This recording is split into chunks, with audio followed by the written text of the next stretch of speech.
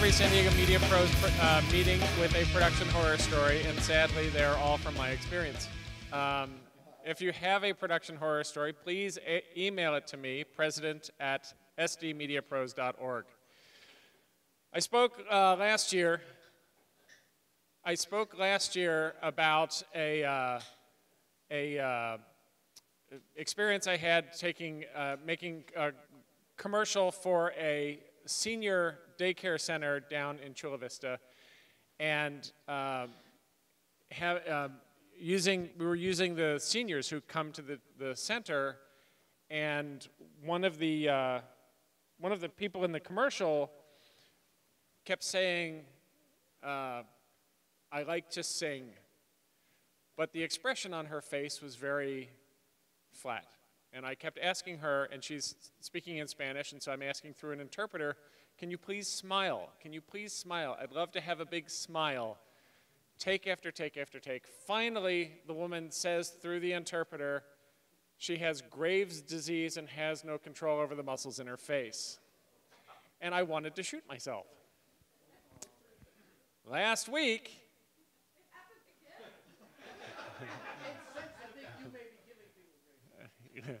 last week, I'm doing another campaign for the same people and they have, uh, uh, I wrote this cute commercial where our actor is walking through and, and talking about the great care that his dad receives uh, from the doctors and the medical staff, and the, the dad is walking up and he has a ice pack around his knee, and the, the uh, doctor says, keep some ice on that knee, and the son looks at the doctor and says, gardening mishap. And the grandpa says, the eggplant tripped me. And they laugh. Turns out that this year they found a man who had is recovering from a stroke. And so his face, again, does not express himself well. And so I haven't edited yet, but I'm really hoping that it comes off as just deadpan and it may. But I'm going to put a laugh track in there if I have to. So that's uh, this month's production horror story. Again, send yours to president at sdmediapros.org. Um, welcome to uh, our meeting on getting and keeping clients and, uh, and buying airtime. Um, this, uh, as, as a freelancer, this is a a important topic for me, and I hope it's an important topic for you. Um, like us on Facebook, and uh, please uh, mention San Diego Media Pros to other professionals that you know. Uh, the, the association has shown quite a bit of growth this past year, year and a half, and we are uh, continuing. The bigger we get, the more connections you make, and the stronger we all get. A rising tide lifts all boats. Um, I really don't know what that analogy means, but a rising tide lifts all boats. Um, you can also uh, sign up on your phone. And you know how I found this out? I renewed tonight while we were sitting right here. Uh, I had been expired because I was a freelancer and broke and I got a check, and so I signed up. And I did it right here, and it's easy as pie, and you can too. So if you're not a member, you can sign up. Um, signing up is easy on the MCAI website, mca-i.org. It's uh, membership for uh, an annual membership is $90. Uh, last year it was 80. We just the prices just went up, um, just to cover costs because we were not not breaking even internationally. Um, it's still a lot less than it was a number of years ago when it was 160 and we brought the prices down. So it's inching back up, but it's nowhere near what it was before. And it's well worth it. You saw the food. You get food every month. And hopefully you make connections and get income. Um, the, uh, if you have any issues with membership, please talk to Marianne Bates, who is sitting right back there, and she's waving. So hopefully somebody looked. Um, one of the things that's been going on with MCAI, Connie, can I call you up here? Uh, one of the things that's been going on with MCAI is their, the website got hacked last year, and Connie has been working like an indentured servant to put it back together. So, yeah, hi. Um, we are moving to a new web host and a new website completely, and we have to be done by the middle of April because the old web host is going to pull the plug on our sites, all of the sites that were on this old platform that they were using. They're going to shut them all down. And I just am worried that they're going to go out of business, uh, and they were going to charge us three times as much money to uh, upgrade to their newest version of their software. So we made a, a decision to move to a new platform that came uh, from some sister organizations are using the same platform. It's a group called MemberClicks, so it's specifically for member associations, nonprofits. And um, so our executive director uh, has experience, the other executive director has experience using this particular um, website as well because uh, she has other um, groups.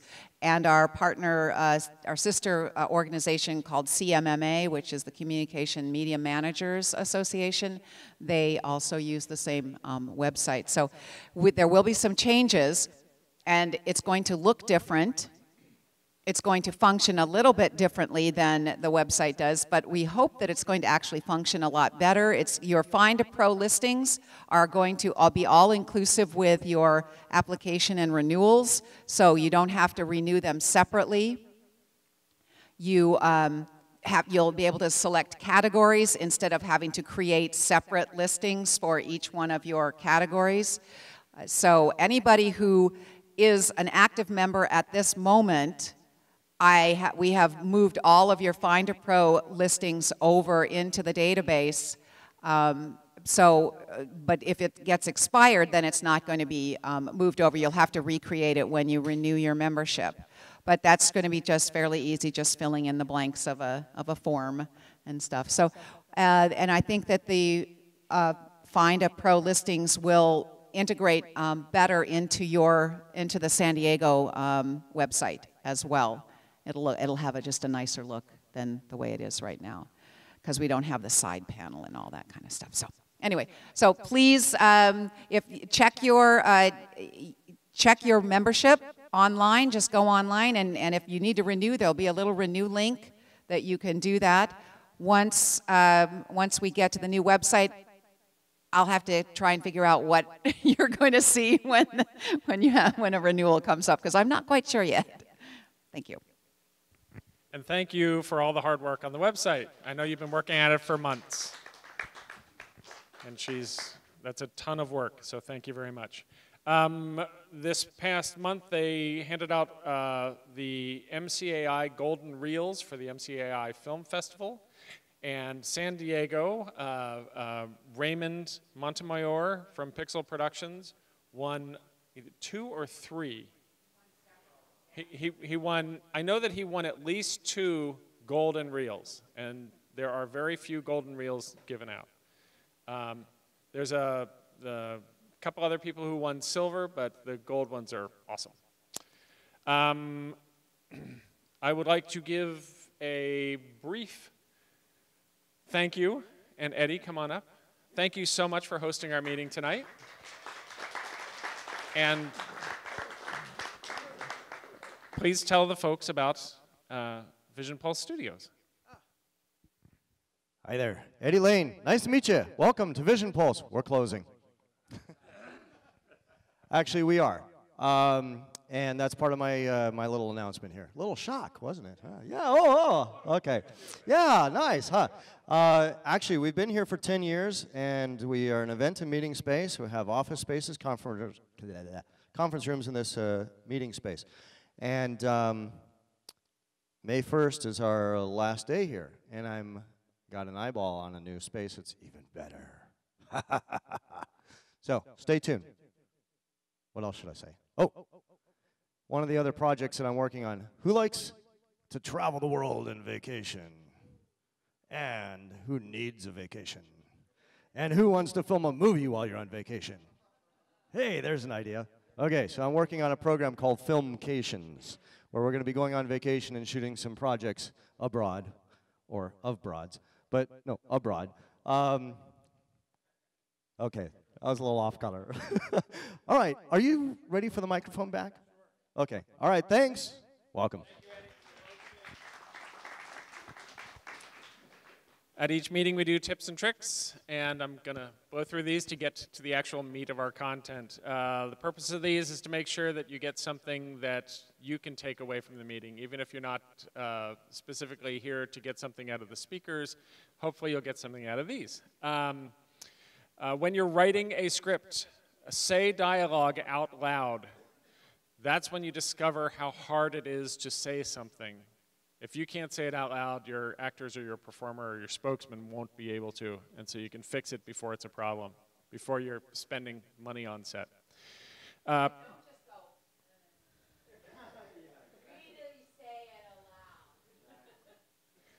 um, Pre production, uh, schedule in time. Uh, at many locations, parking takes time, lighting takes time, wardrobe changes take time, good sound takes time. Put those things into your schedule, into your shoot schedule. Uh, directing, uh, give people the freedom to use their own words, then work backwards toward the script. Uh, sometimes you people will read the script and feel like they have to say it word for word, and it won't come out right. And so, if you give them the freedom to change the words, they can put it in whatever way they want, and then you can add the elements that you need to be accurate to the script back in. You'll get what you need, and you'll get a better performance. Uh, lighting. Uh, there's a type of lighting gel called shower curtain, uh, and and uh, this is this was tip was given to me by Nick Berry, who's a gaffer. Uh, it's Lee Filters 255, and it's a diffusion gel that is similar to uh, 216 or Opal. Uh, if you doubled Opal, it's like this stuff. Uh, but the difference is it's made out of this thin plastic stuff that doesn't ripple like Opal and other lighting gels. So if you have it outdoors in the wind, uh, the wind won't make it won't make any noise in the wind compared to other gels. You can you can uh, put it on a light or put it on a frame, and when the wind hits it, it won't make sound because it's soft like a shower curtain. Uh, camera, when shooting a green screen, put the green at 60 IRE, then light the talent to match. Um, if you have a DSLR, use the histogram and put it just above middle gray. Uh, in my experience, 60 IRE works really well because it's bright enough to separate itself from the shadows, but it's not so bright that it starts to lose color saturation. Um, editing. Uh, I saw a watched a short film for a friend of mine the other day, and there is a uh, section of a shot where she has two people in the foreground, and one of them says a punchline, and somebody at the next table reacts. And uh, she she uh, played it for me, and she was like, "I'm stuck. I can't do anything about it." I said, "You know what you do? You cut out that little, you, you take that shot, you copy it, you uh, crop in on just the, the people at the next table, and then change the timing of it so you're watching 15 seconds earlier or 15 seconds later, and they won't have that reaction. So you can crop little things out of your background and change what's happening. Um, uh, compositing uh, when you start playing with text, when you start putting text onto video, one of the things that's fun to look at, particularly in After Effects, sometimes in, in, uh, in your editing system, is to change the transfer modes. For example, if you have uh, text over water, if you just try different transfer modes, you can see how the text can blend into the water a little more interestingly. Blending modes, yes. Uh, uh, narration, do one fast and one slow. Uh, when I uh, have people cut voiceovers for me, I ask them to do one fast and one slow, and the purpose of that is, in my software, I'm able to speed something up a little bit or slow something down a little bit, but I can't do it a lot because it starts sounding like hell. If I need it sped up a lot, then I can have a separate cut. Uh, and Mike Tao wants to add something right now. Yes? Yes, please. The software he's talking about is Final Cut 10. And what I'm going to add is I just recently had to do three and a half hours of dri- diving certification in French, Spanish, Dutch, and Italian. And in all of those languages, with the exception of Dutch, they're all a hell of a lot longer than English. Um, and the ability to speed up audio in Final Cut 10 was amazing. But the key is, it does it on a percentage. And what that means is the longer chunk of audio that you can speed up, the more you're going to be able to speed it up. Um, the, on the Spanish, we were able, since they did the, the whole, like 50 minutes was our longest chunk, they did the whole thing as one audio take, we were able to actually speed up that whole take 118% before it started sounding chipmunky. So the, the key is the bigger the chunk, the more you can speed it up. But Final Cut 10 is really amazing at speeding up audio. That's it. What do you mean? Since it's a percentage, if you, if you do 120% of an hour, it's not going to get as fast as 120% of 10 seconds. That's going to be faster right? So that's going to sound chipmunky quicker.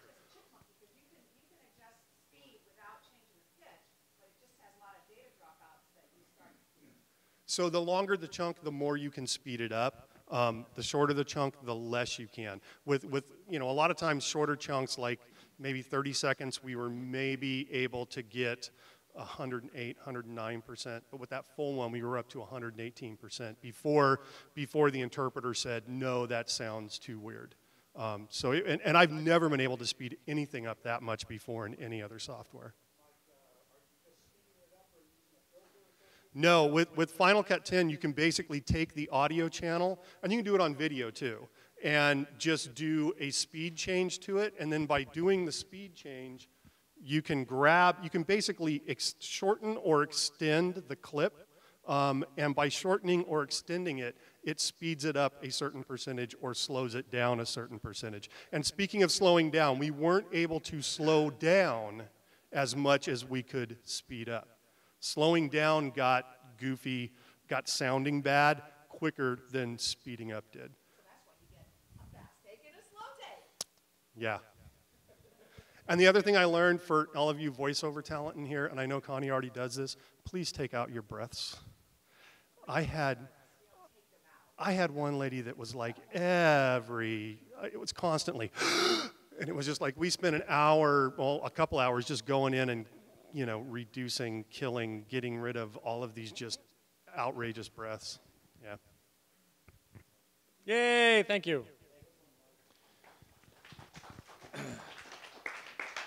And the last little tip here I have is for exporting. When I export, I make local TV commercials, and when I export TV commercials, uh, I shoot at 2398, uh, broadcast once, spots at 2997. Well, my first step is to export that 2398 uh, master in 2398. I get a master in 2398. I add a broadcast uh, filter uh, to make sure that it's within broadcast specs, and then I uh, export as high an H.264 as I can, and then I take that and, uh, or I ex export a ProRes, um, but either way, as high quality as I can, and then I use that to export uh, 2997 for broadcast.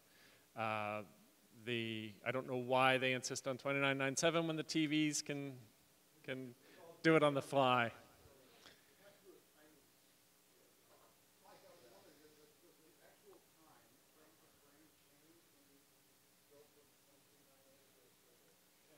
No, because it's 23976, which when extrapolated out ends up being 2997. So it's, it's identical because math. Uh, all right.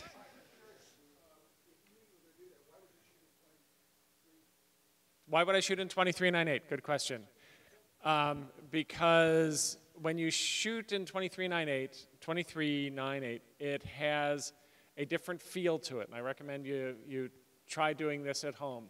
Uh, figure out a shot that has a little bit of movement to it, a little bit of you know fluidity to it. Uh, when you watch uh, 2997 playback, it's going to be choppy and quick. When you watch 30p playback, it's going to be smoother. When you watch 2398, it's going to have uh, additional fields that get, get uh, uh, overlapped in the pull down, which smooths that motion. So it ends up looking, uh, film cameras were at 24. When they transferred film to video, it was going from 24 to 2997, and so it added those fields with the 3-2 pull down, and so traditionally our eye sees film a certain way, and that's what 2398 does. All right. Yes. Yes, it's like a built-in Gaussian blur. Yes. All right, so let's get to our meeting. Yay! Um, I'm going to introduce Tom Kinnaman, who is, has organized this meeting for us.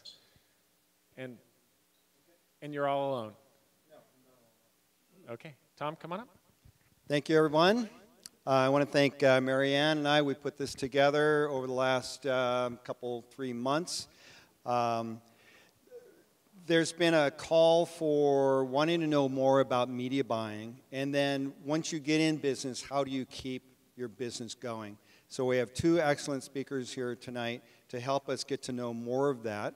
Um, we'll uh, have Rod Hunter up first.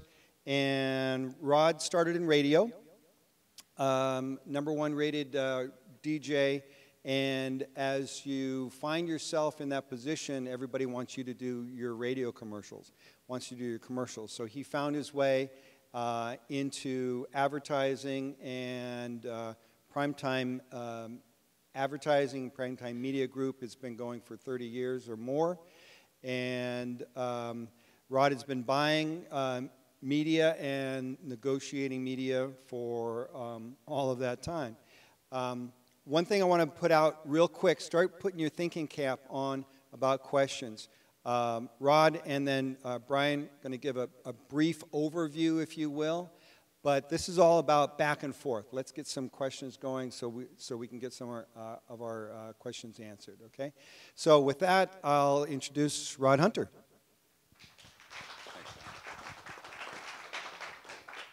Tom has been an editor of mine for 20 22, 23 years, forever. Yeah, yeah, yeah. Back when linear was fun. Uh, in radio, it seems like uh, the NFL people go into insurance sales and radio people go into media buying or television. So it's just a, a natural step. When Tom asked me to do a little thing on media buying, I said, that's a really big room. So rather than, and I am a little nervous because I've never done a presentation where I'm not prepared because I said, well, what I'm going to do is I'll just say this, this, and this, and then you guys can take me wherever you want to take me. If I don't know the answer, I'll just say I don't know. But why try to tell you stuff that you don't care about? So let's go ahead and start with this. First, you have a client, a product, and a target. The more you know about your client's product, the better you're going to be able to hit the target, which is a consumer. So in media buying, what your job to do is, is to convince the person that you're working with that you know enough about media to be able to buy his media time. So if you don't know his product, you're not, it's not going to happen. What kind, what, what, what's the product? It's Chevy. Okay, well, Chevy is a broad product, 25 to 54. That's a nice age group. But what kind of Chevy?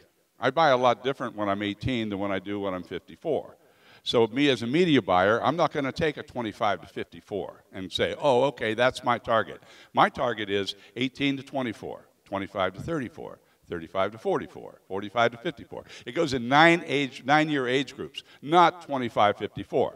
Does Chevy fit in there? Oh yeah. What kind of Chevy? Corvette. Why doesn't Chevrolet advertise Corvettes? Because they don't have to. I wanted one since I was 18. They know when I'm 60, I'm going to buy one. That's why you have all the Q-tips in Corvettes. You, you can't buy Corvette commercials on a radio station that's broadcasting to 18 to 24 year old young men. They're not going to be able to afford it, so don't bother wasting your clients' money. So I put this up here because numbers in media buying are so confusing. People think it's such a, a, a, a you know, an enigma, and it's really not. This is uh, from Pittsburgh, Pennsylvania, just a, an overview of some Nielsen overnights. So what it says here is households have an 8.3 household rating on Walking Dead, and you just follow the little numbers down. Well, that really won't mean anything to your client. But this is the way we look at it. Now, if I want adults 25 to 54, notice some of the programming changes just a little bit in numbers. What the, oh, by the way, what the, what the household number, what, what this, this means is an 8.3 rating is of the people in Pittsburgh, Pennsylvania who have a television set, 8.3% watch that program. Now, you might end up with an 8.3 at a 15 share, which means a share is simply what percentage of people who have TVs in that market actually are watching that program. So, but you can't get all caught up in the numbers. You have to be careful because right now, okay, adults 25 to 54. You see the way they, they're doing it. If I can get my, there we go.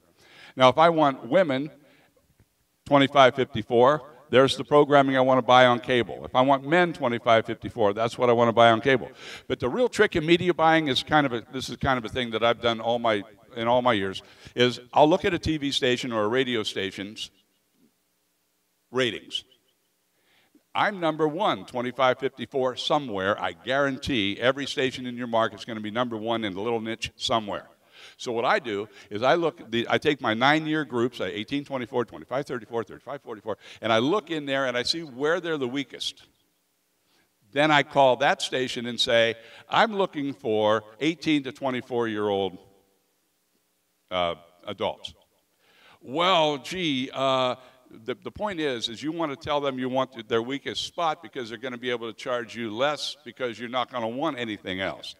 So it's just a little game we play. But if you want to uh, win the game money wise for your client, you have to be smarter than the TV or radio station that you're, you're sitting there talking to. So, how do I get a hold of a television or radio station? Nowadays, there used to be an SRDS standard rate and data, which we don't use anymore. You just go online. You can get, if, if your market's in Houston, Texas, you go to Houston, Texas and go ABC, CBS, NBC, Fox. And is it easier to buy nowadays? And, and you, by the way, you just call the sales department. But when you do that, you have to be a little bit on a little edgy because if you come off like you don't know what you're talking about, they're going to sell it to you for 30 bucks when you could have got it for 15. You just have to know how to approach them and with, with what your product is and do a little research first. Their ratings are online. You can find out everything about them before you ever make the phone call. After you make the phone call, hit their weakest link and tell them that's the age group you're after they go, well, gee, we're number one here. Well, that's not that, but I want this. Never mind then. And you just play this little negotiating game, and you end up getting it. What you really want at the end of the day is their political rate, because a political rate means if they give you a rate that is a political rate, the politicians, or if, if, they give you a $10 rate and their average rate's 20, then any politician can call up and get a $10 rate. Now he's got a $10 rate because you said it. Well, so the stations don't want to go below their political rate. But once you get to it, you'll never get it lower, and that's the one you're looking for. So in rating, uh, when, you're, when you're negotiating, uh, I can't really say there's any one specific way to do it. You're going to have to figure it out. That's more of a sales game than it is a media buying game. But it's played by you and the TV stations. Okay, so, yeah, please interrupt anytime. What? Um, well, the rates are based on what show. You're explain it a little bit on placement because if they're talking about their weakest group, they might go, "Oh, well, we're going to put you in this weakest show that we have, where it might be just the same as like the strongest show that they have." And the same thing with the political. Is that running the dial because they, you know, prime time's totally different than fringe, different Certainly. than daytime. Okay, let's talk about very good question. In if you look at your client and you go, uh, uh, The Voice has a 10.8 rating. He's going to go, I don't know what that means. So the trick for you is to, convince, or to take everything that you buy radio, TV, newspaper, billboards, print, anything and break it down to cost per thousand. I don't care what the rating is. I want to know how many thousands of people are listening to this radio station at 915. AQH, average quarter hour, that's a, that's a uh, it, it, every 15 minutes they rate it. So how many thousands of people are listening? Well, if I have a rating over here and a thousand over here and a share over there, I can't do apples to apples. So I take my television and I say, I want your cost per thousand. Age, age group, whatever it is. On, on a particular show, I'm not talking about 24 hours. On The Voice, I want to know what your cost per thousand is. Now, if I get that on TV, I do the same with radio. And your cost per thousand is 10 bucks, okay? Then when you put all your radio stations in a group and you look at it, you go, well, this station's charging $18 a thousand. This one's only charging six. Everybody's over here, but this guy's way up there. You either eliminate him or tell him he has a chance to lower his rate. But once they, once they have the once you have the cost per thousand, you can put your TV with your radio, with your newspaper. And I'll tell you right now, the worst, most inefficient buy you can do that I buy all the time is cable. Because your cost per thousand is about 277 bucks. I can buy prime time for 18. So why am I buying cable? It's called reach and frequency. I want to re- reach is how many people you hit. Frequency is how many times you hit them. So I buy 25% reach and about 75% frequency. When I buy the frequency, cable plays a big part in that, and they're very targetable. I can target cable in zones where I can't target broadcast in zones because broadcast is broadcast. Does that help? Thousand, the cost per thousand is just the most crucial thing you can do. And then you can put all your TV and your radio in a line and go, this person's out of line, this person's out of line, everybody else is okay. And you, hit me with it. What do you got? Uh, so it was 75% reach and 25 frequency? No, it was the other way around. I, I, I buy 25. Well, see, you can't afford to buy too much frequency because a newscast is going to cost you about 14 or 1500 bucks. I just got The Voice in Erie, Pennsylvania today on a fire sale for $300 when actually it's about a, well, they never sell it for under five. You can turn that out if you want. So if, if they sell it for if they sell it for five every day, I got a call today from my rep and said, hey, I'll uh, I'll, I'll lower because see airtime is intangible. They can't resell it once it's gone. So if a program has a hole in it and you're a friend enough to the rep they're going to call you and go, hey, Rod, I got this really good deal. I don't want to see it go away, but I'll give it to you for 300 bucks. Everybody else just paid five, you paid three. So when you negotiate, you don't want to do it on an edge where you're pissing them off. You want to become their friend over time. Because once you they're your friend, they're going to call you with the fire sales that you're looking for for your client. So I got a 6 to 6.30 uh, Simpsons and a voice on Monday night at 929 p.m. in Erie, Pennsylvania for 300 bucks. Um, where's my? I told you, when you're not prepared, you get nervous. but I know half of you, so shouldn't be. Questions, hit me. What you got? Yeah. Uh, business things you have to do to become an agency. Is there any? any File a business license, basically. There's two things I want. Somebody remind me: Pandora and commissions. Don't let me forget those two things. Um, not really. You just you just get a business license and you're an agency. Um, you need good credit because you're going to place 40 or 50 grand for a client. That now now let me back up a second. I'm in. I do primarily car stores all over the country. So these guys spend an enormous amount of money. In Houston, Texas, we had a Kia store, Tom knows, Kia and a, Houston, and a, and a Chevy store. Spent $120,000 a month with us, plus production. That's just on the air. So they spend a lot of money. So I'm going to cover commission while I'm, while I'm standing here. An issue with you and a client is going to be when he finds out you're making 15% commission. But the broadcast world is set up that way. When they get a bill, when you get a bill from a broadcast station, if you spent 10 bucks, you owe them 850. You get to get 15%.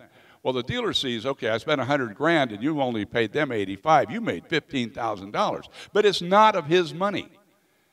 You, what you did was got him a better rate than he could have got. If uh, what I tell a dealer when I get a new dealer is I say, if you're spending $100 a spot, I'll get the same spot for 100 or under, and I'll be paid in that, or there's no sense in us doing business.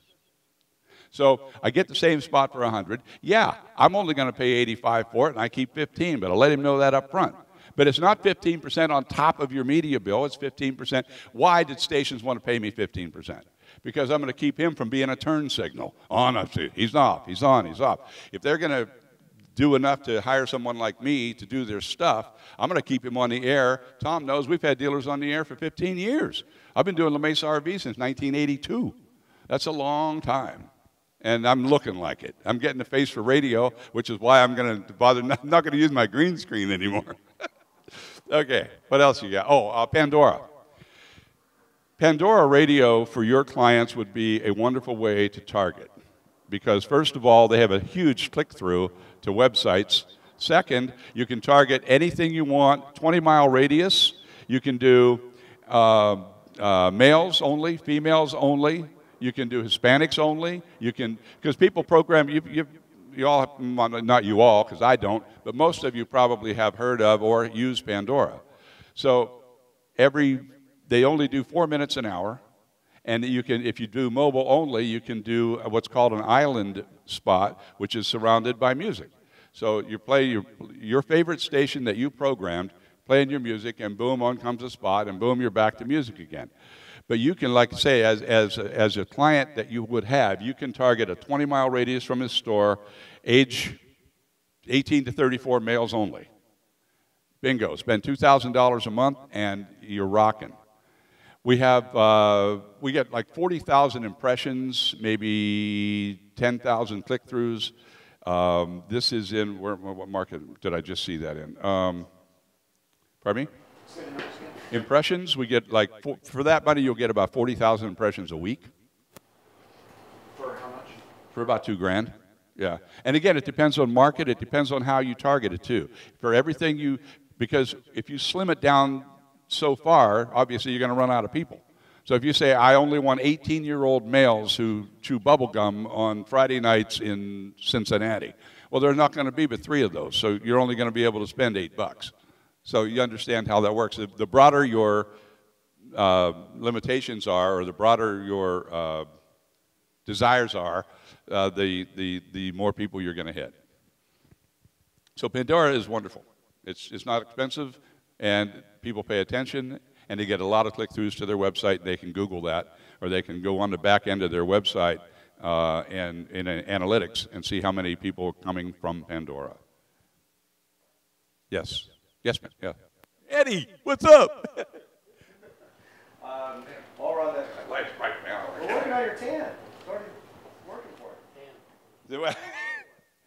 What's up? Um, online media like uh, YouTube buy or something like that. Yes. Buy an ad there. Yeah. Uh, your thoughts on that? We do pre-rolls, uh, YouTube video pre-rolls. The difference between Pandora and YouTube pre-roll is people, like YouTube serves up their searches two ways, with product or with interest.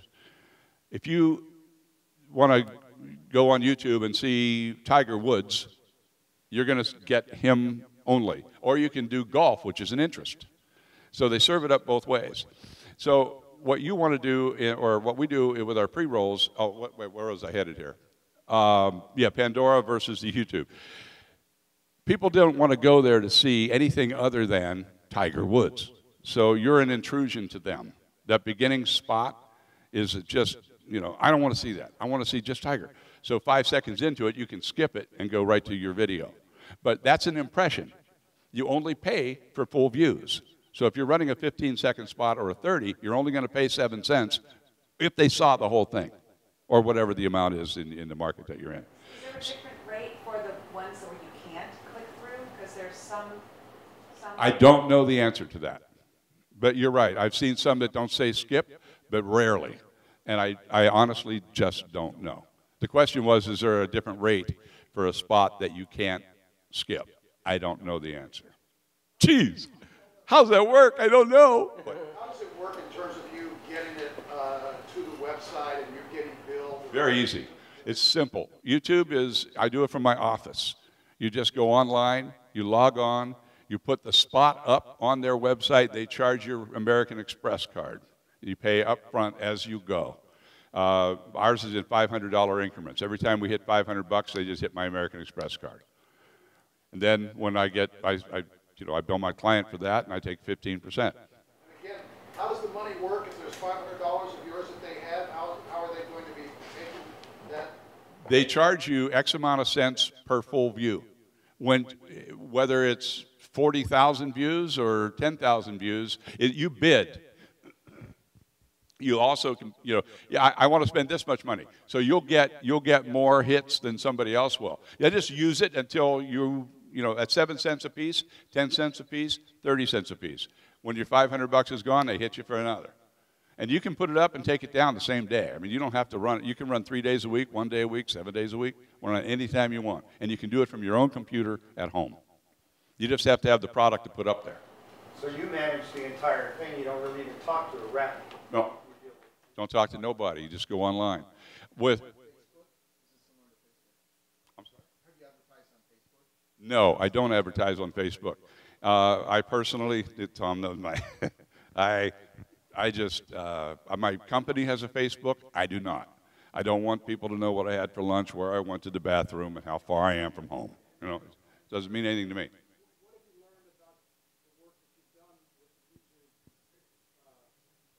Okay, YouTube is we get we get a ton of impressions, very few click-throughs because most people don't watch the whole spot to click through. They don't want to watch that spot. They wanted to watch Tiger Woods or motorcycle racing or whatever they went to.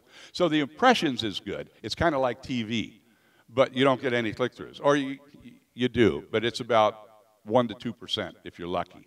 It's not a lot. So out of forty out of forty thousand, what do you want? yeah, I'm done, right? What, what are the click-throughs that you get on Pandora approximately? What is the what? What are the click, what's the percentage click-through rate on Pandora? Uh, a percentage rate on Pandora. Um, maybe eight, maybe about eight, yes. On YouTube, um, YouTube's almost like free in a way unless they watch the entire spot. Correct. That's why you get so many impressions with so few click-throughs. So it's actually good.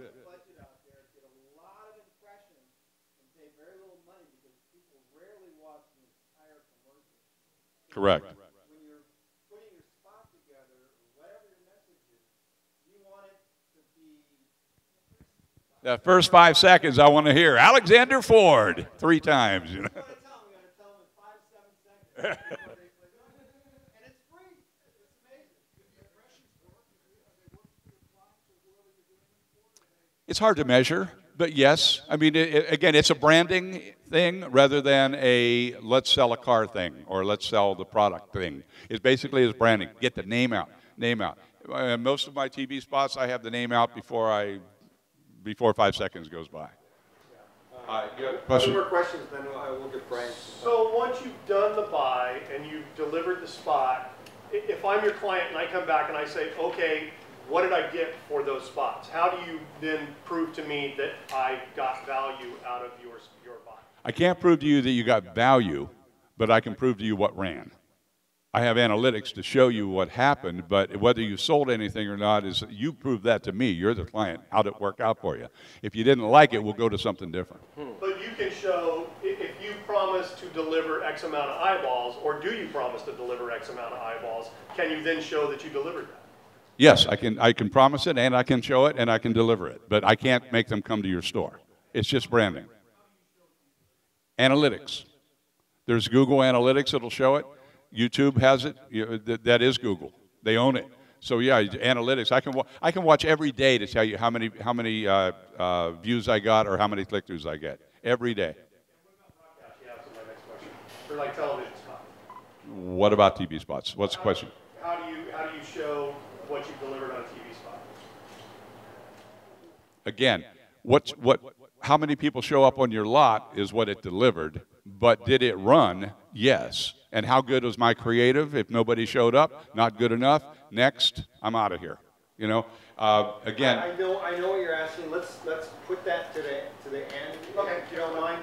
Um, let's, uh, give Brian a chance. Uh, you need to, uh, put your, plug your computer in there, Brian. Yep. I cannot plug mine. Thank you, Rod. Yeah, I'm a little bit, a little sorry that uh, media buying is, is, is, like I said, a very big room. There's so many places I wanted to, to talk about, but there's a, in a half an hour or whatever it is, there's not enough time. But I'm done. Bye. You're not done. We'll have lots of questions for you. Um, the, um, the way that you follow up, I think that one of the most important things when you're buying media for your customer is how you follow up with them. And this starts to answer your question, is that there you do get feedback from the station, you do get make goods, you do get qualified numbers. I bought this many ratings, I didn't get this many ratings. They will come back and do make goods for you and start to bonus you. Post analysis is very important. You get all the billing in, you make sure everything that you bought ran. If it didn't run, you get make goods. I've gotten free spots in the Super Bowl from doing post analysis good enough to make sure that all the spots run. Well, what can I do to make you happy? The spot didn't run. Well, I paid for it. Yeah, but it didn't run. Okay, great. And you just go back and forth and fight on it. But it's post analysis. Get you make sure you get what you paid for. And if you if you buy a couch and you go to pick it up, it doesn't have an arm. It's been damaged. You want something for that. Yeah, because nobody wants to, whatever. Nobody wants a couch an. All right. Next on the hit parade is Brian Douglas. Now, Brian, when did you found um, uh, Digital Outpost? In 1996. The man has been um, in business for a good amount of time, growing his business. It's a very secure um, uh, company for him and a lot of people, and you've got to be very proud about people you've put to work through the years, and that's got to be a big part of keeping a business running. And I'll let Brian fill in the rest of the words. Brian Douglas. Hey, hello. So uh, I was going to continue uh, Mike's story, uh, some tips. You know, he said something about shower curtain, the, the gel. Well, I have a little story on that. We were shooting out at uh, Fort Irwin, out in the middle of Death Valley, for the uh, Marine Corps, and the general. We were, we were, we were going to shoot on green screen back at the, uh, the the main base and at the PA Public Affairs office, and everything was fine. And that uh, evening before our, our shoot the next morning, he said, uh, "You know, I don't want to shoot in the studio. I want to shoot out in the middle of the desert." All we had, we had its indoor lights. That's all we had. We had all plug-in lights. So we went to Home Depot in, uh, in uh, Barstow, bought a shower curtain, a real shower curtain, the opaque uh, rubber feel, made a, made a 10 by 10 frame for it, and stuck it in front of the sun. And that was our key light. And it actually worked. So that was my, my one tip for the day. So. And horror stories. Horror, I got a horror story for you. Okay, horror stories. Uh, we do uh, uh, law enforcement training for all of California police officers. Okay, so we do probably 10 to 12 hour and a half, two hour documentary pieces for credit for every law enforcement officer in California. And wonderful Reagan right here is our lead producer for all of our, our post shows. And uh, we were doing a show uh, for uh, was it elderly, I think Alzheimer's or something like that, how all law enforcement officers deal with that. And we hired a talent uh, to, uh, work, uh, you know, be the elderly woman, to, to be, you know, and through an agent and everything. And we get through the shoot, and, and she's, you know, she's, uh, she leaves the shoot, and everything's fine, and I lost my wallet. You stole my wallet. Oh, everybody. Do you remember that? You don't remember that? I don't think you were at that one. Well, she she had a bit of dementia, and we didn't know that.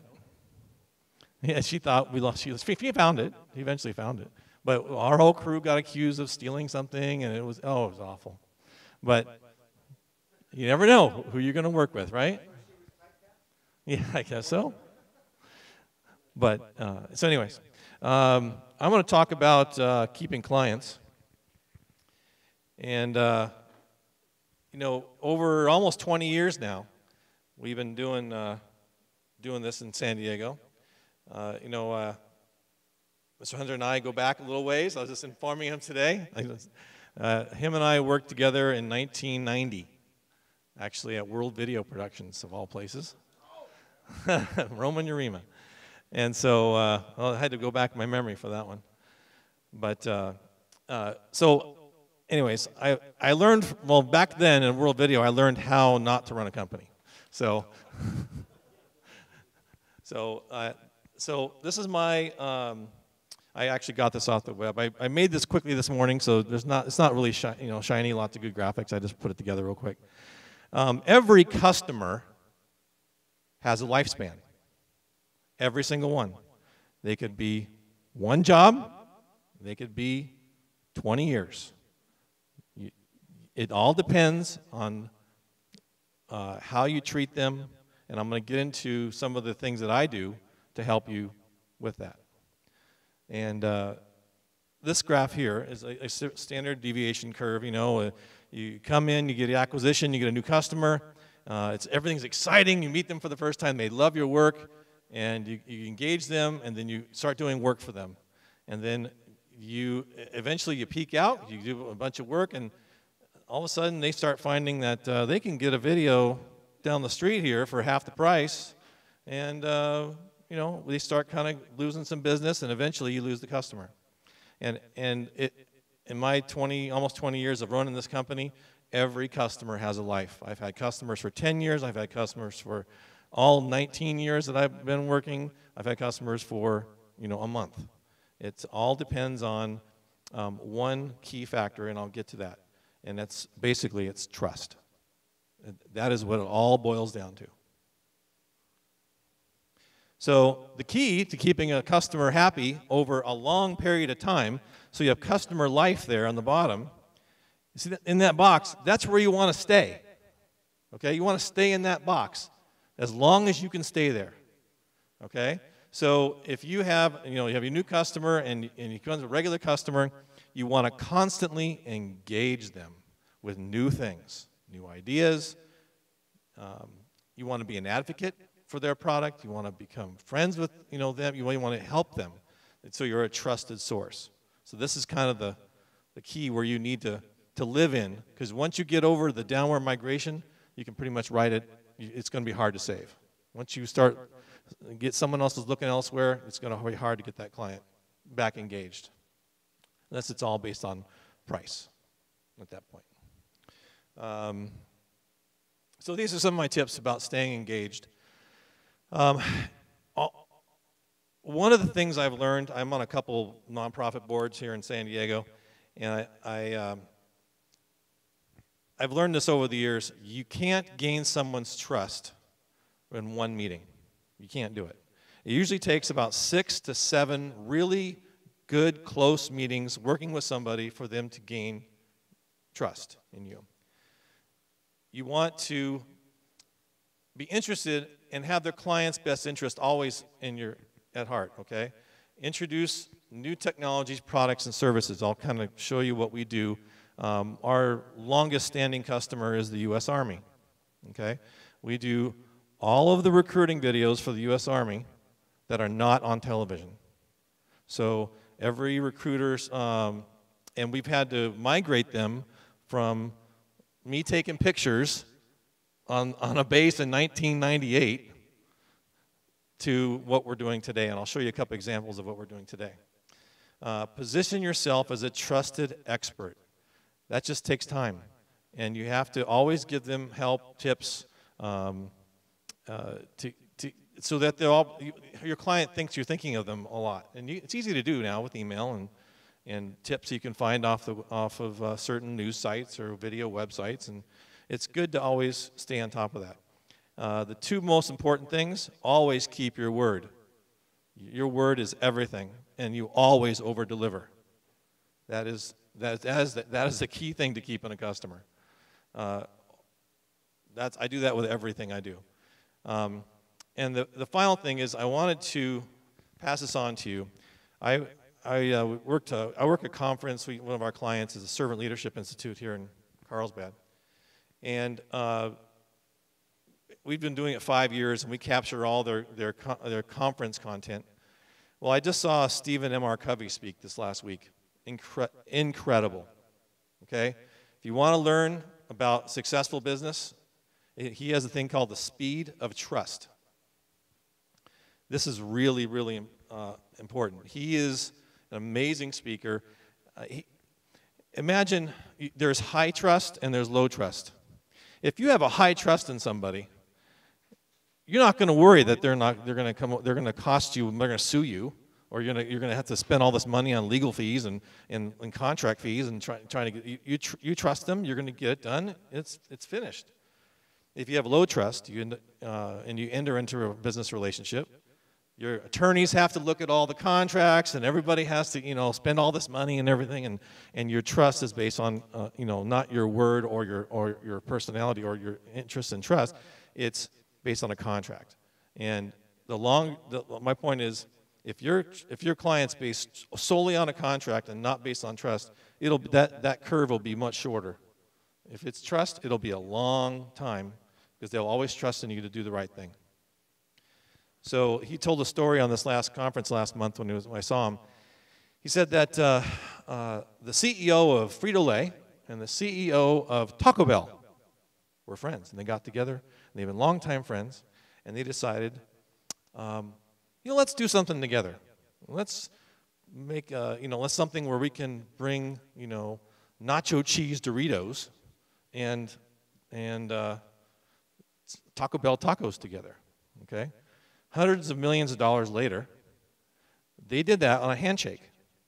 They didn't do it with the, with the contract or writing uh, uh, what the percentages will be or, you know, they, but they did have a, uh, in their agreement that if any one of them ever moved on or did something else, then they would have to write a contract.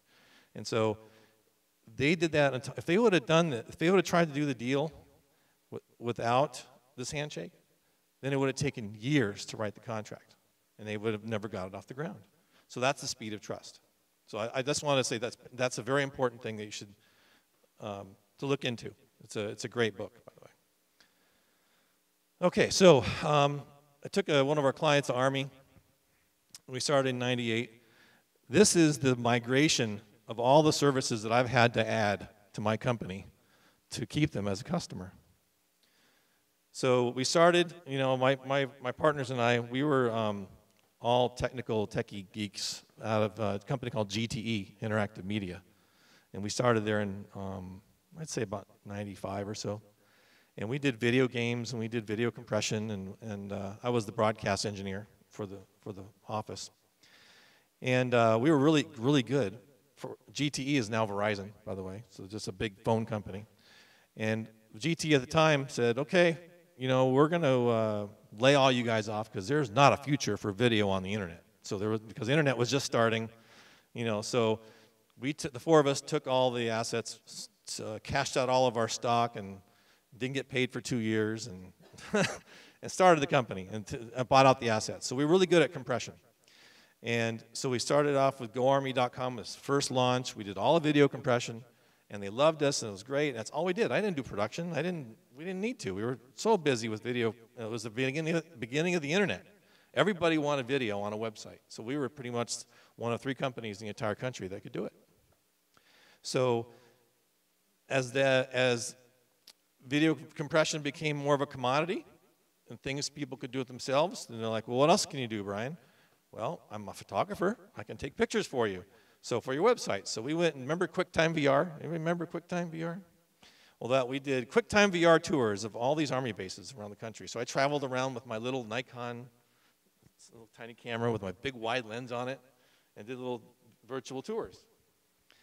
And uh, then, they, then that kind of got old, and they said, "Well, what else are you going to do for us?"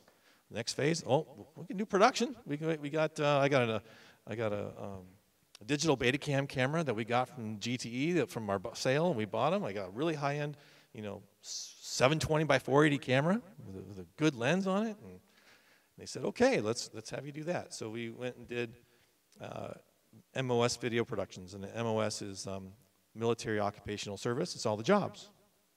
And that uh, every job in the Army, there's 180 of them right now, and they all need a video. So that's kind of what I do for them. Um, as we did video for, uh, for MUN, we, we built a video database because we're good at programming and compression and video. We put it all together and made them a searchable database. They love that. So then, I, then DVD came around. Well, we, we were the first DVD house in San Diego. So we started doing their DVDs. Uh, then we moved into HD production, continuing on from the video production, moved into Blu-ray because we were the, pretty much the only Blu-ray house to do it. And then um, now we've, the last three are pretty much current. Uh, we've gotten, uh, still doing MOS productions, but we do a lot of real life documentary pieces. That's kind of where things are going for the Army. They want to see real stories about real people. And, uh, uh, and the other thing is infographics. I never did, I mean, I did graphics for people, you know, and some, hired a 3D animator for some things, but I've never put together a whole infographic type of thing. That's kind of the, the fad for, for showing quick videos about a short topic. And then uh, we moved into, we put all the, we, we recently got a contract last year to put all those videos on a smartphone. And so now uh, every recruiter, we have, we host, we have a cloud service we built. Every recruiter can search all the videos that we make for them on their smartphone and, and show it to a recruiter live off the 3G connectivity. And so that was an, another thing that kind of they wanted to do, and we did it.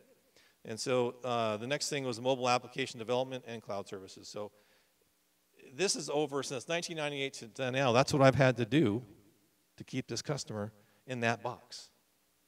That's what I've had to do. No. well, okay. Uh, when you work with the government, uh, it's always on a downslope. because every year they're always cutting. Um, so you expand your services and you get more work doing other things. That's how you work with the government.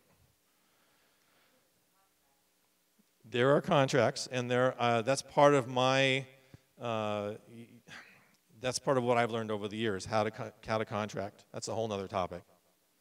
Um, but uh, you can contract with other companies, you contract directly with a GSA schedule. Can, there's a lot of different ways. I don't really, really want to get into that tonight, but um, it took me about five years to learn how to do that. So once I learned how to do it, it's pretty straightforward now. So I want to show you a couple examples. Um, I won't play the whole thing, but this is something we just finished and launched this, this uh, two weeks ago. The first day, it had 45,000 views. So it was a, it was a, it's, basically a, every year, every time they change a uniform, this year they're going to change uniforms again. they have to do new videos. So it's kind of a repetitive contract. And uh, this is about basic training. And they didn't have an actual accurate basic training video that they could call their own. So this is the example. Oops. Yeah.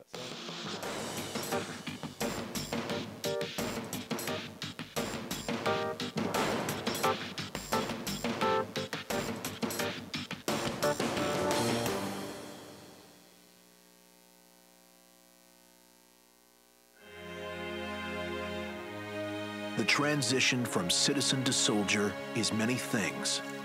A challenge, an adventure, a test. It's a series of questions with the answers all coming from within. The men and women who undertake that transformation, who choose to join the United States Army, do so for their own reasons. But one thing is the same for every recruit who steps off the bus at basic training over the next 10 weeks, they will find themselves challenged in ways that they could never fully anticipate. Whew, yesterday, that's my first time on a plane. It's just busy. That's the one word I can use for it, busy. Last night at the airport, when the drill sergeant got there, I was like, oh, it's getting real now. As soon as I got here, I was, I mean, I was terrified. I mean, I'm, I'm actually in an Army boot camp.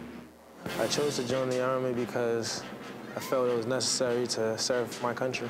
Most of my friends, they're going to go to college, they're going to be in debt for who knows how long, and I know that I already have a set job. I know what I want in life, and I know that the military is going to get me there, so just stay motivated and get the job done. Basic training begins with arrival at Reception Battalion. Essential paperwork is completed. Medical checks and vaccinations are given. Trainees get haircuts, and uniforms and begin to look like the soldiers they're destined to become. When I was on the bus, I was sitting there like, this is gonna be amazing and it's gonna suck at the same time.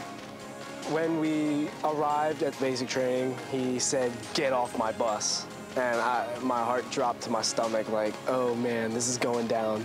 This is, this is it. They next move into red phase where they meet what will be their biggest source of guidance over the next few months the drill sergeants. Yes, drill sergeant. Trainees start to learn the fundamentals of being a soldier, building confidence in themselves, and learning what it truly means to be part of a team. Now that I'm here and I'm experiencing it, I love it. When you hear someone calling you a soldier, you want to act like a soldier, you want to walk like a soldier, you want to talk like a soldier. I mean, I'm feeling like a soldier more and more every day just because like you're getting adapted to the routine every day, so you're getting used to like how everything's supposed to work, how, what you're supposed to do, what you're not supposed to do. I want to make it through graduation, and I'm going to do everything I can in order to do that. Training continues with White Phase, where even more emphasis is placed. So the, the goal here was to demystify uh, basic training. And you can't really do that in a 30 second commercial on a, a Super Bowl or on a NASCAR event. Uh, so these are the kind of shows that we said, yeah, we can do this. I had not done anything like this in a long time. So, uh, you know, luckily, uh, I have a very talented staff, a very talented group of people that uh, are our, our vendors that I have trusted and worked with over, you know, over 20 years. And I know what I'm going to get. And so uh, when we send out a crew to do this, I know exactly where we're, you know, where we're going with it. This was three shoots over 10 weeks. We went back three times and followed the same soldiers all the way through from beginning to end. And uh, now we're going back this summer, and we're, going, we're taking them all to their homes, interviewing their, their families, their influencers, their, and then also we're going to we're to go to their workplace and show them doing their job. And then we're going to tie it with this program. This is uh, Fort Jackson. That's at Fort Jackson, uh, South Carolina, and Fort Benning in, in Georgia. And it was all shot last August in Georgia and South Carolina. Yeah, it was, we sweat a lot. Yeah. This is uh, this one's six minutes. So it's on the it's on their YouTube channel. It's on the U.S. Army Recruiting Camp YouTube channel if you want to watch the whole thing. So, but you know, I just keep going here. Um, so that's one of the things we had to build. We hadn't built a documentary style show for them. They said, Brian, can you do this? Sure. You know, I'm, I've always had the mentality of if you want, uh, you get a phone call. Okay, do you pour cement driveways? Yes. My next call is, where do I buy cement? And what, you know, where do I find an expert to, that I know? All right, that gets you back to the speed of trust.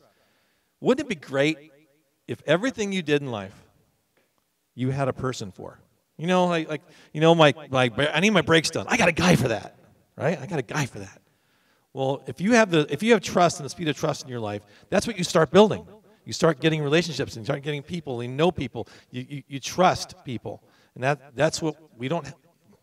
we have a lot of low trust in society today. And so that's what it all boils back to that. That's my that's my soapbox. That's my soapbox, sorry. So uh, this is another this is a shorter piece. So they came to us this last year and uh, they said, "Oh, you know, uh, the general. We have a new general. He loves these infographics things you see on, on, on YouTube all the time and web pages. And, and they think, oh, well, we'll just, you know, we'll spend $5,000 on it. Nothing, no, they don't realize that you have to you have to storyboard the whole thing, and you have to you know it's all it's just like building a, a, film or, or show, and you have to hire artists and you have to hire animators and you have to you know put this whole story together. This this project with approvals, because the army is very uh, particular. This took uh, four months to make, and so it's not for you know five thousand dollars. It's a lot more. So we to show you what this what we did here. A rewarding decision in a young American's life can be to become a soldier. Along with the training and experience, soldiers are also compensated with Army pay and other entitlements designed to serve both the soldier and their family. To ensure that you receive your Army pay, your earnings are directly deposited into an established SurePay account with a recognized financial institution of your choice. Your account must be open prior to shipping to basic training, so it is ready for deposits on your first day of service. Your guaranteed competitive base pay will be calculated depending upon your accrued time in service and increases as you are promoted. In addition to base pay, soldiers may qualify for special pay and bonuses for specific jobs and assignments. For soldiers who qualify, the Army will also offset the cost of living with allowances that provide for a reasonable quality of life for soldier and family. Benefits include housing allowance, sustenance allowance, cost of living allowance, and relocation allowance. No matter where your Army journey takes you, you can be confident that you and your family will be cared for with healthcare benefits that are second to none. And one of the largest networks in the world. Service members' group life insurance is provided automatically to new soldiers through the Department of Veterans Affairs and can be modified to adjust amounts of coverage and beneficiary designation. Just as Army soldiers are Army strong, so is the Army family. To ensure that you have quality time to be with those you care about most, each and every soldier earns 30 days of vacation annually. The Army Family and Morale, Welfare, and Recreation programs offer the soldier and their family a wide variety of quality services and packages for vacations, recreational services, and daily activities. Qualified soldiers can take advantage of education incentives, such as tuition assistance, credentialing services, and education counselor support. The Army provides top-notch services to soldiers wherever they may be assigned. Pay, allowances, bonuses, healthcare, education, and recreation. To learn more, log on to the Go Army website for additional information on the many benefits of Army service.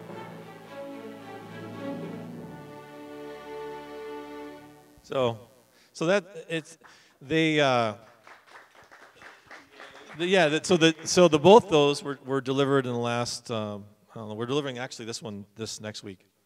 Uh, it's going to go on their site, but um, they uh, kind of have their own audience. They have 4,000 recruiters across the country that they handle handle these things out to, and they, they, they get a lot of audience. But um, kind of getting back to my my graphic here. Um, when they ask me, you know, when they ask me to do something new, I run on three-year contracts with them. And we've been doing it so long, they've trusted us so long, we've been through probably seven or eight generals during that time, maybe more. Every time a general comes in, they want to change everything. And so we just roll the punches and keep with that upward migration. You never let them peak and go down.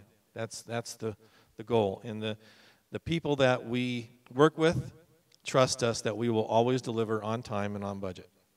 And, that, and, and that's been going on since 1998. So that, that's kind of my little story in a long nutshell. so anybody have any questions about clients and how do you know how to price price it, price the job, especially if it's new and you haven't done it before, or how many people? Uh, I guess I, I guess it's hard for me to answer because I've been doing this for so long. I, I pretty much know most of the people that I, that I've friends and trust with that can do pretty much everything in, in film and, and broadcast, and so I, I know who I can go to trust, and, and they'll they'll give me a great price and a, and a, and a I usually start there. I, I start with what it's going to cost me, and then I uh, work forward from there on the first job, profit margin. Uh, you know, one thing you got to remember: you're all in, you're all for profit. You're not. You're not a nonprofit. That's a double negative. Sorry. You, you're, all, you're a for-profit company, so you have to take people's services, mark them up. It's okay. People, you know, it's okay. It's, they expect you. You got to make money to stay in business. You know, it's it's not. That's not rocket science. but I, how I how I bid it is, um, uh, I put all the all the all the costs together. Then I put how much internal labor we're going to have. We have 15 employees, so I have to I have to figure out how much time they're going to put in there and then um, I put on top our, our profit margin, and I, that's usually how I price it. Yeah. When, and this was um, pulling stuff out of your speech that you didn't actually say, but when somebody comes to you and says, I want this video and I want it done for $5,000 or X amount of dollars, and you counter to them, do you counter with them with, this is the amount we can do it for, or do you counter with, Hmm. We suspect that this is the amount that we can do it for, but we charge by the hour. Okay, all right. Um, when I come up with a, a, client that wants an X amount, so a, a, set dollar amount, right? I ask them, uh, do you want a Yugo or a Ferrari? Because if you want a Yugo, we're going back dating myself, sorry. Um, Uh, if you want to have, uh, you know, something that's going to be that's going to run and it's going to get you where you got to go, then that, that, it's, it's going to be in this price range. If you want it to look, I have enough demonstrations of products that over the years that I can show people, and I can give them ranges of what the clients spent on it. And that's usually a good gauge for people, is that you can say, well, this client paid, you know, between eight and twelve thousand dollars. This client paid between, you know, fifty and seventy-five thousand dollars. You know, you don't really want to give them an exact price, but I can show them three or four different versions. I've done enough projects now, so that I can show them uh, what what they get for their money. And usually uh, they'll understand once you show them that, oh, this had a jib, this had a steady cam, this had a handheld. You know, you know there's a, a big difference between what you can, what you get, uh, how many people you have on the crew, and the, the, the, the value you put into the product. And do you ever, I mean, when you, the experience I've had is that I give somebody an estimate and we get you know, two weeks into the project and I'm on my ninth script revision and, and we still haven't started anything and I'm already running out of the number of hours that I've estimated for the entire thing. How do you? Every estimate I have um, has a set amount of hours for the hourly rate, and then it says uh, plus or minus. We will actually we will charge actual hours plus or minus of this number. Every every estimate we put out has that in there. That way, and then what we do is every, if they're a, it's a month-long project, every week we give them a progress report. How many, how far they're through the project, if they've been using too much of our time, and, and we tell them, you're running out of time, it's going to need an extra 10, 10 hours, then we tell them that. I'm sorry. Wow. Something that happens a lot of times with newer clients, older clients that I've had for a while, I don't have to really deal with this, but with newer clients, a lot of times life can be so much easier on a production if I just know what your budget is, right? But you run into these newer clients that they, they feel like they can't tell you how much money they want to spend because you're going to charge up to, you know, you don't know how, what the game is. If you have any tips on how to approach that conversation and actually figure out what is your budget so I know what I can reduce? I guess it depends who the audience is. I mean, who the who the who the client is. Um, the government will never tell you unless you have a really good relationship with them. Uh, if it's a, a, person that wants to really lowball and come up with a price, they'll give. They'll tell you it's got to be happening for five thousand dollars, or whatever it is. Um, if I I price it, I price it uh, regular productions because I have a I have a big overhead. I have a twelve thousand square foot facility. I've got edit bays and, and staff and crazy power bills and mortgage and everything. And I know what I have to make every month. And if I don't make that, I have to, I have to price my projects at a certain level. If they don't want to work with us, then good luck. You know, they, they, they can go to our website, they can see our products, they can see our success stories with our clients. We try our best, but, but we, you know, unfortunately, we're now at a position now, most of my projects are in the 50,000 and higher price because I can't compete anymore on the $5,000, $8,000 videos anymore um, because there's a lot of people that uh, they can hire a, staff member, you know. Um, I've lost some customers over the years that that's what they've done. They've hired three or four people and they, they bought some small cameras and they, they do their own stuff and that's great and that's fine. But they have kind of, we, uh, we outgrew them or they outgrew us, I guess. Um, did I answer your question? Not quite. Not really. okay. What's the trick? What's the trick? Yeah. Uh,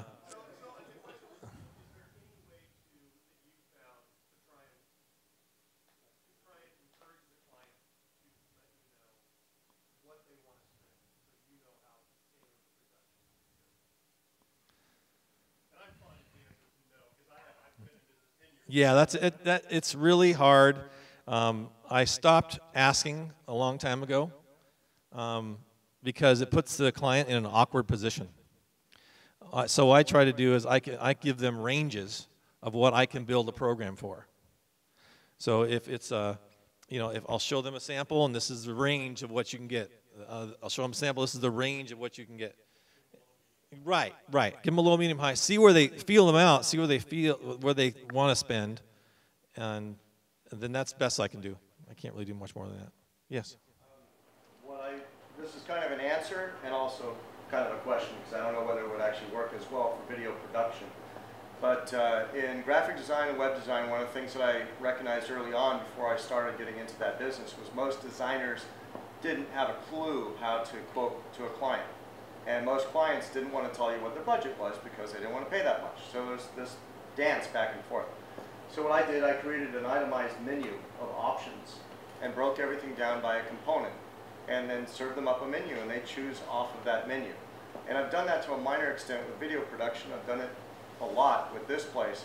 And once they see a price point and what Ryan just said about uh, the high, medium, and low kind of a package, they see that they have a lot more respect for it. They're less willing or less interested in negotiating because it's there. You don't go to McDonald's, look at the menu, and say, I'll have a Big Mac, but I only want to pay a certain amount of dollars for it. Hmm. So if you don't have it tangibly locked down on what your price is, it leaves it wide open for the client to kind of push you around and do whatever. Yeah, I mean, we with the with the most of our work is is with military, government, California state, um, and we have a pricing schedule that's on GSA, that's public. Um, it's uh, we have a CMAS schedule with this California multiple award schedule. The same thing. It's all it's the same pricing as GSA, so that they can go and look there and see what our individual rates are, and if they uh, that they don't know how long it takes, how many hours it actually takes. So, yes. What's an appropriate markup? For for what kind of what kind of labor? Uh, like employee labor or outsourced labor? Okay.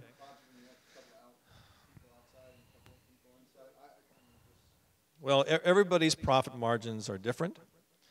Um, how public is this video? okay. Um, no, uh, usually uh, you would take a, an outsource for us. an outsource for us would be if we were to hire someone to shoot for us, it's usually one and a half times that, that, that rate. So that's kind of a good rule of thumb to go with. Um, one of the, the things that uh, that's kept me in business so long is the other thing I didn't probably should have put on there is don't overcharge. Never overcharge. Right. You want them, you want to give them a great product for a good price. If they, they, they feel that they got a great product at a good price, they're always going to come back. But the challenge is getting them, getting those customers. That's the I have a, I have a question. Yes. Um, you were talking about trust earlier um, in developing that, that level of, of trust with your customer. Uh, could you bring up a couple more uh, points that you have found uh, work well? Is it camaraderie? Is it friendliness? How do you, how do you develop that trust? Um, I've lived by uh, my business uh, ethics have been based upon what's called servant leadership, where I believe that it's, it's an old adage. You know, you, you treat people how you want to be treated. You want to you serve people how you want to be served. It's not a servant. You're not their servant. You're, you're but it, you serve people the way you want to be served. If you you will get out, out just you'll get out more. You'll get more back from what you put out. It's like volunteering. You know, if you volunteer at a homeless shelter or whatever, and you don't get paid, and I've raised my kids since they were real small to do this, they they get ten times more out of volunteering than they ever did, you know, for working for somebody, because you just get that much more back. That's, that's the trust. When you work with someone, you help someone out, you do them a favor. Um, it's an unspoken uh, relationship, trust type of thing. So it sounds like being yourself and being true to yourself mm-hmm. is really the answer. Right. You can't. Uh, you can't fake uh, yourself. you, can't, you, can't, you can't put a persona out there and act at, uh, to a new group of people because you can't keep it up. You can't keep up that story. You just you put it out there who you are. And they'll accept you for who you are. Or not. Yes? So let's say you have a long-time client and something happens and they move out of that box and start onto the, the downward migration path. What do you do to recover um, from that? Pretty much try anything. um, you, you, uh, and and it usually happens when they change management, uh, new CEO, um, new, something else comes in.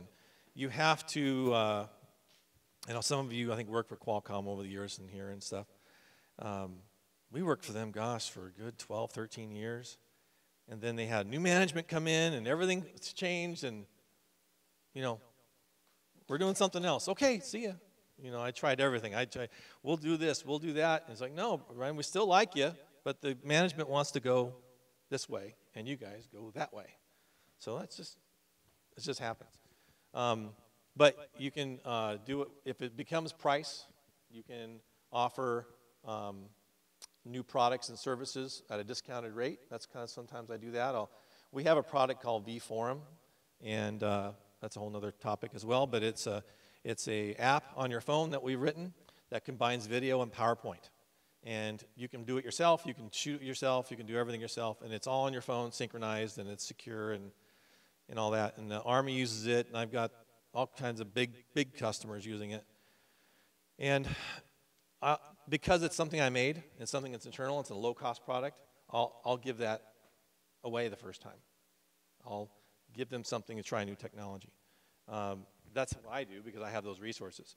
Uh, but you have to, you have, when they're on their downward migration and you're kind of starting to feel that they're going away, uh, you hit your, you, know, you rely on those relationships that you've made with the people to go back and talk to them, go out to lunch with them. You know, you try to get them back, but so, if it's new management, they may be forced out of it.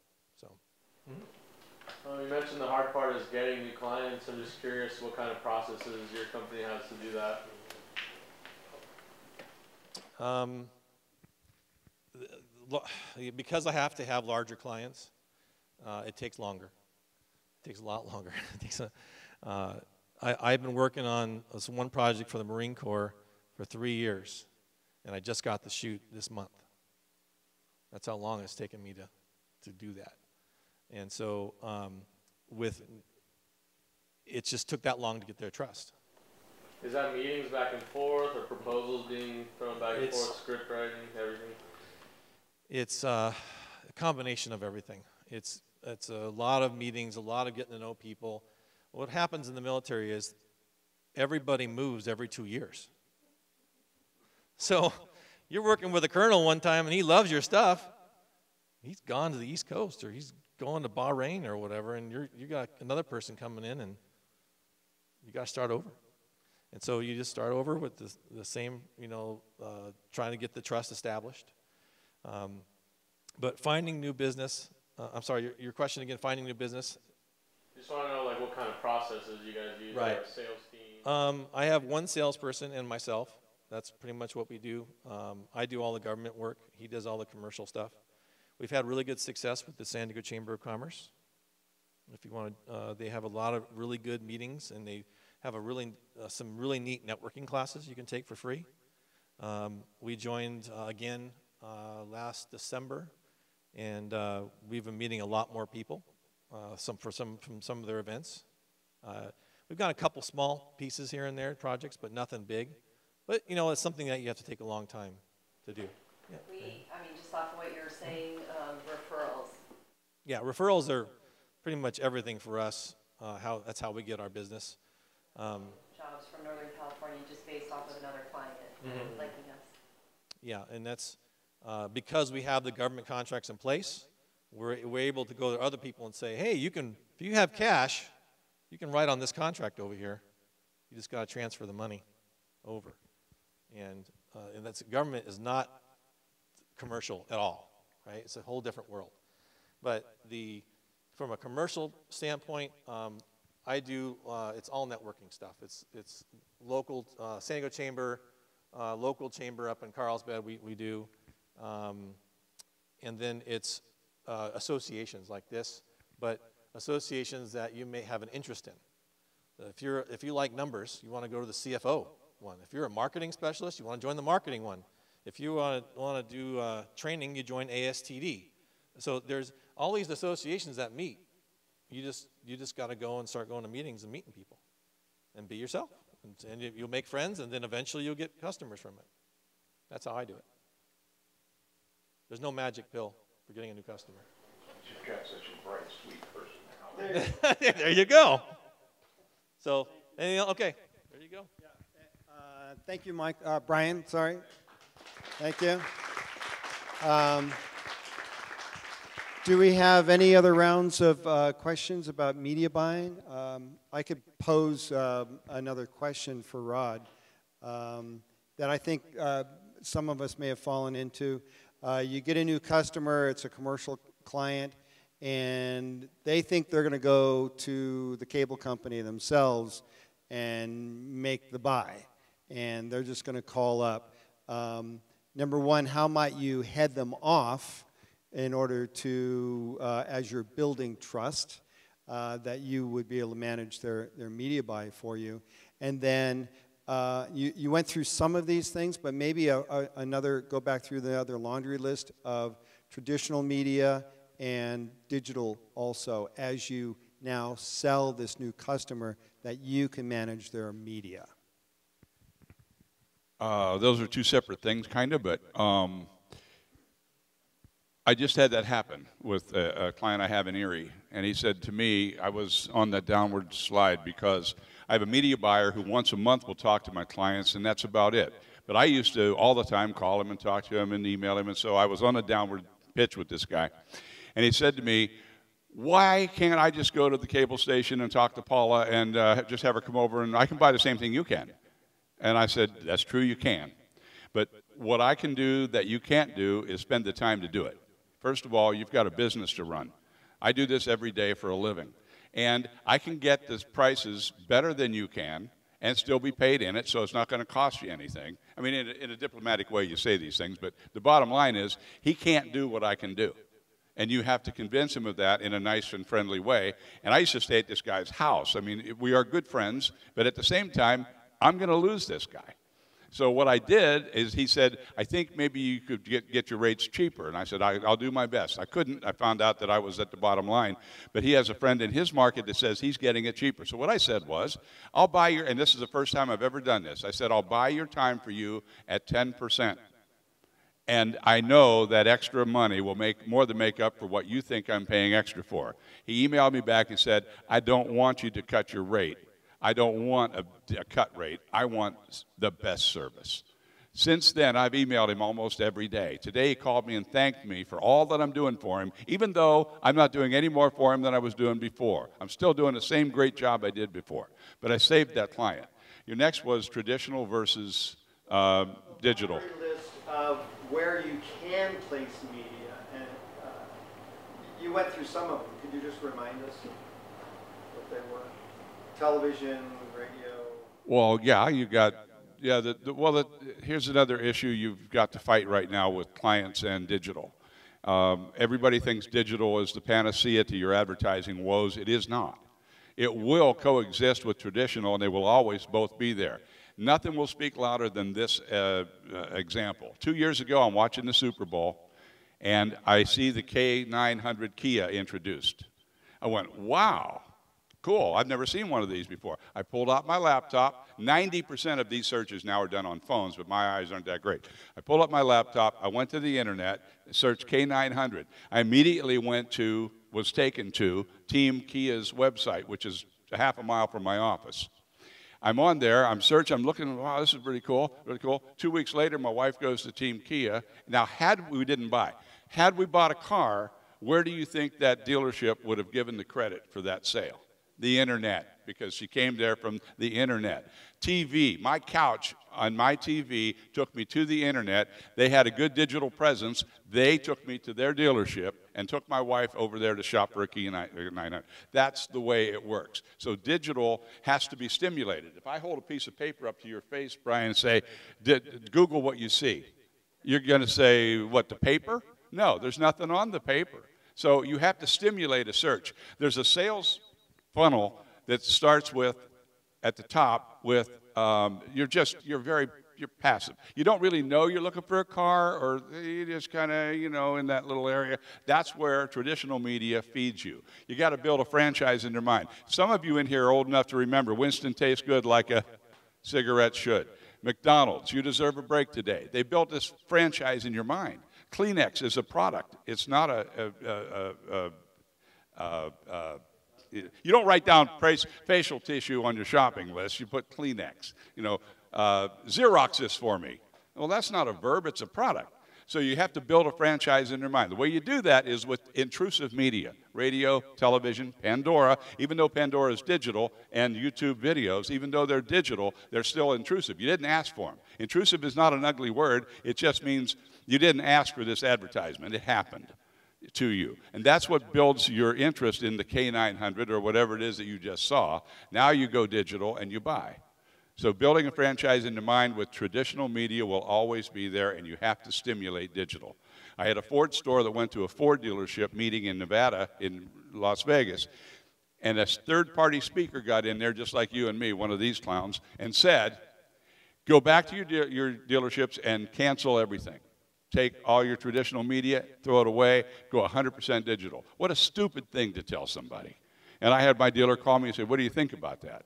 I said, well, that's fine if everybody's a buy today, but you like you can't. You have well, uh, it, it's frustrating to me because they actually believe that this is going to work. Now Ford is going with 50% of your budget now. They're going to they're going to co-op you if you go digital. So they're kind of forcing that issue, but you still have to stimulate digital. What else, Tom? Yes. How do you value things? For example, I'll give you my specific example. Like I'm starting, uh, I already have a television series, but now we're starting uh, a radio show. And um, we know we're going to start out at 25,000 and build it to 100,000 in a year and stuff like that. But how do you, when, you, when you're talking about an hour-long radio show on, let's say, a destination, how, would you go about valuing that? Like for the destination, not that we're charging the destination, but uh, like maybe a hotel that wants to advertise and stuff like that because it's, uh, instead of just being a car commercial in a Super Bowl, because you came to watch the football, not to buy a car, um, unless it's a Super Bowl, I guess. Uh, uh, but in this case, you're actually listening to an hour show on that destination. So then if you're motivated to go to that destination, it's a really targeted for that hotel or that restaurant or that tour for that destination. Do you understand what I'm saying? No. you have to build value in, the, in, the, in an hour show. You have to convince Brian that you have something that the people that you're selling this to is going to want to see. You have to prove it, though. It's like Arbitron or Nielsen, um, and you, you, Mr. Uh, is it Tom or what was your name? I'm sorry, Mike. I'm sorry. Asked before, how do you prove it? Well, there's an affidavit. Like to answer your question from before, uh, when we get bills, we get affidavits with those from the TV station that says these actually ran, and you know, there's proof there. But when you're trying to sell air and you don't have anything other than goodwill to sell, it's a good luck. You know? Oh, no, no, I'm just saying, if, uh, let's say we have 100,000 listeners. Okay. And it's, uh, this week it's going to be a show on Lake Tahoe. We're going to sell an ad, uh, we're offering an ad to a hotel for a 30 second spot. How would you value that differently than, let's say, it's just some, some show, random show uh, on car repair to a hotel in, uh, in Lake Tahoe? Obviously, you know, since you're talking about the destination, it's much more targeted and it's going to really pique people's interest to go to Lake Tahoe and then a hotel's a natural thing to go to, where a car show, it wouldn't be a natural thing to book a hotel in Lake Tahoe. might be able to add something to this. Yeah. Um, I, my company produced a web show for about three years that was a very niche audience. Um, and as far as, if the question is, how much should I charge the, the advertiser? What it comes down to is charge what they'll pay. I mean, we sat down and we said, we think that a pre-roll on this show is worth this much. And then we went to advertisers and pitched to them. Um, and honestly, in the end, I think we undervalued it a little bit. Um, so maybe my advice is figure out what you want to charge them and then move it up a little bit. And, and, and go tell them. That's what you want, that's what you well, want you for your spot. You gotta, yeah, figure out what you want to make. yeah. And then work backwards. What's, what's going to do make if you got if you have four spots in an hour, how many you know, and you need to and you're paying for the airtime of 400 bucks, you're going to need a thousand bucks to make any money. So divide it by four and say this is what it costs. I mean, you can't go broke. You got to make a living. I don't know. Yes. Do you do nothing but targeted stuff for each show, or do you do like run a schedule, you know, run a day or night? The the issue or the question was run of schedule or target specific shows. On cable, we'll do both. Uh, generally, on cable, what we'll do is is buy a six till midnight, but I'd never buy a 6 a.m. to midnight. I mean, 6 p to midnight, or a 10 to, to 6, a 10 a.m. to 6 p.m., or little blocks, prime time, 6 to 10 p.m. Uh, and then we'll buy specific shows too. Anarchy, uh, you, you, you know, you, the Pawn Stars, and, and uh, name, name it. We'll buy those individual shows as well. Broadcast TV, I never buy run of schedule. Uh, always, well, I, I take that back. Every now and then we'll buy an ROS in the afternoon on ABC. How about long form? Infomercial time. Uh, Late night stuff. Infomercial stuff, we don't do anything with. On T.V., just go with specific shows. Yes, because you can take a. Eh, TV used to be just the four networks, and now they've actually made it a lot easier because everything is so targeted. If I want men, I buy ESPN. If I want women, I buy Lifetime, and you can multiply each one of those by 30 because there's so many cable shows. So, what's better? More 15 second commercials or less or less 30 second commercials? We do both. Uh, on 15 second spots, we do bookends. So if a TV station is going to charge me an easy number, 100 bucks for a 30, I, ch- I get 100 bucks for two 15s. So it's the same amount of money, but with the DVR situation happening the way it is now, all the dealers will say, well, I just skip through them. Yeah, well, not everybody does, but some people do. So if you buy bookends, as soon as the program goes into a break, you're first. So by the time I reach over here and get the remote, I got my five seconds. Alexander Fort, you already heard it. So now you're, now you're skipping, right? And as soon as you see programming, you hit stop and it backs up eight seconds, and you hear the last part of the leather spot. So that's the way we're, we're getting around the DVR thing. Plus, we don't buy a whole lot of programming that is DVRable. If you buy news, if you buy sports, I don't want to watch the Charger game when it's over. I already know the score. Somebody at the airport is going to tell me on my way home. I know it, and it's happened so many times. So uh, I, I, I, in 30s, you know, you're going to pay the same amount of money for a 30 as you do two 15s. The 15s, you can't say a lot in, so it's basically a quick branding. The 30s, you can actually tell a little bit of a story and, you know, do well. ROS spots, uh, back to that question, are a lot cheaper than individual spots. If I want to buy The Voice, it's going to cost me a thousand bucks. If I want to buy 6 p.m. till midnight, it's going to cost me 700. I might fall into Voice, but probably not. That's why it's cheaper, because you're not getting really what you want. you're getting what they're going to give you. Anything else?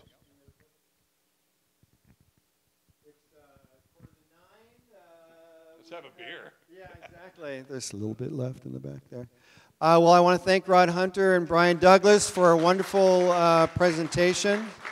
I feel smarter.